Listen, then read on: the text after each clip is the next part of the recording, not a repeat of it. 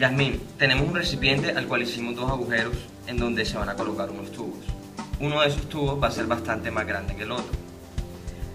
Por estos tubos saldrá agua y al pasar cierto periodo de tiempo se llenarán unos recipientes. ¿Por cuál de los dos tubos crees tú que pasará más agua? Yo me imagino que por el más grande. Se supone que por ahí debe salir más porque es más grande. ¿Estará Jasmine en lo correcto? Para averiguarlo, realizaremos un experimento y estos son los materiales que necesitaremos. Un recipiente grande. Dos tubos, uno con mayor diámetro que el otro.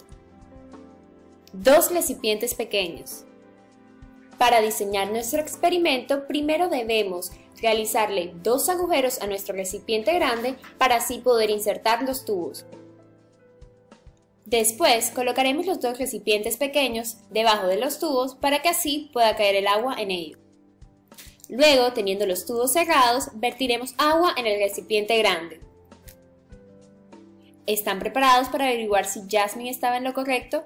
Abramos los tubos al mismo tiempo.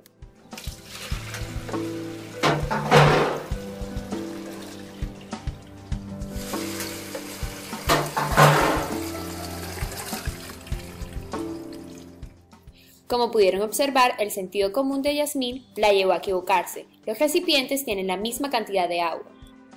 ¿Pero por qué ocurre esto? Se debe al principio de continuidad, el cual establece que el gasto 1 es igual al gasto 2. El término de gasto o caudal se define como el producto del área y la velocidad. Al ser el gasto 1 igual al gasto 2, entonces se puede afirmar que el área y la velocidad son inversamente proporcionales. Por ejemplo, en este diagrama del tubo de Venturi, al ser el área 1 mayor que el área 2, la velocidad 1 será menor a la velocidad 2, al igual que la velocidad 2 será mayor que la velocidad 1. Así, se mantiene constante la cantidad de agua que circula por el tubo en un determinado tiempo, o su gasto o caudal. Ahora te vamos a mostrar un video en donde se ilustrará lo que realmente ocurrió.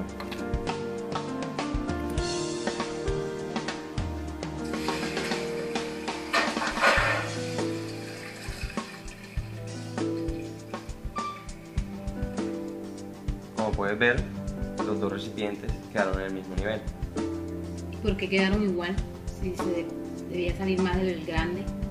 Bueno, gracias al principio de continuidad podemos saber que un sistema que contenga una corriente de agua o algún fluido, en cualquiera de sus puntos, la cantidad de fluido que circulará en un determinado tiempo siempre será la misma, sin importar el área o tamaño de este.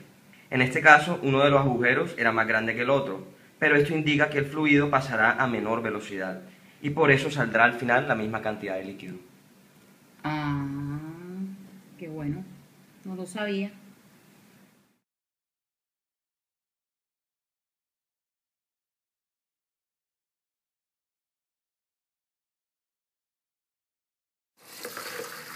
El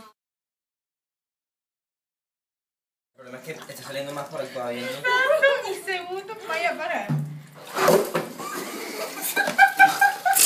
Ni segundo vaya